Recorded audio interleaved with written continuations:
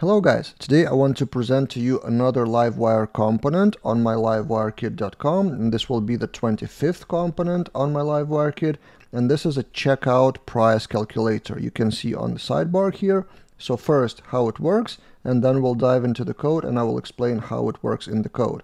So when someone clicks add to cart, look what happens. Cart 1 here and then you can do cart 2 so that also refreshes without page refresh and then there's a calculation for total cost, which depends on two more parameters. So for the country, if I choose the country, it may add a tax, which is European VAT.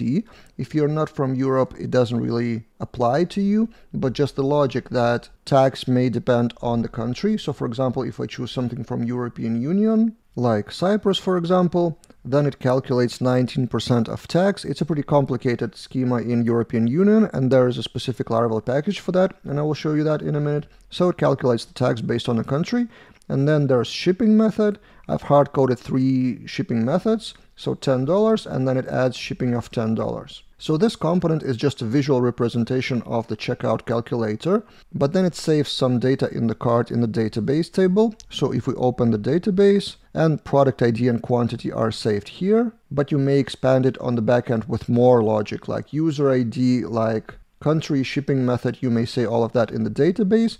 And then when you click checkout, you may have all the data from the card. So I didn't implement that in Livewire component because it's very, very individual depending on the checkout process.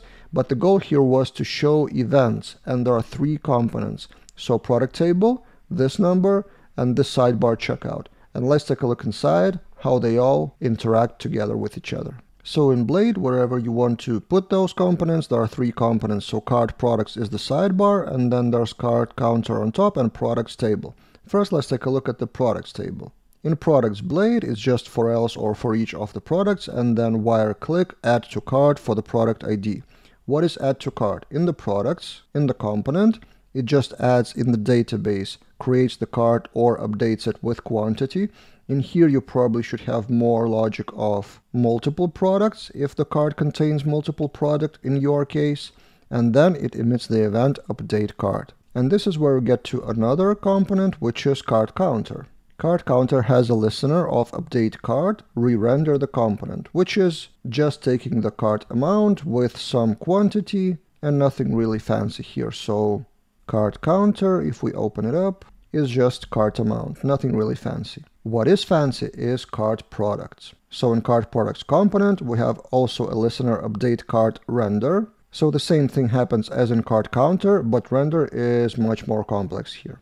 So first, we get the cart items with products relationship and then transform it into object with exactly what we need. Then we use cart without tax with shipping. Shipping is a private variable here or public variable actually shipping. And then if we open cart products here, shipping, it has this wire model shipping and here's the price of the shipping for every method of the shipping, right? So in the component, it adds the shipping to the cart items total. Then it calculates the tax. And here's where we use that VAT calculator, VAT calculator. In the composer JSON, there is a package called mpociot VAT calculator. It was created originally by Marcel Pociot, now taken over by Dries Vints from what I remember. And it does those calculations like calculate the tax by the amount and selected country. Selected country is a drop down here, so wire model selected country. And then we calculate with that package what we need, get tax rate, get tax value, and show all the card products.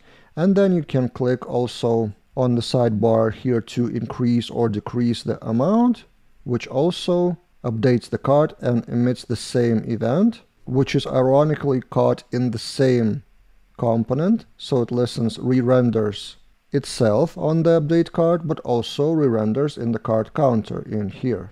So this is a bit more complex component on my Livewire kit, component number 25 which is not officially released yet. If you go to livewirekit.com, it's not here yet. It will be released officially tomorrow. Why? Because I want to give you one more day to purchase the components at the current price of $19 for all components. A few weeks ago, I announced that as soon as I reach 25 components, I will raise the price.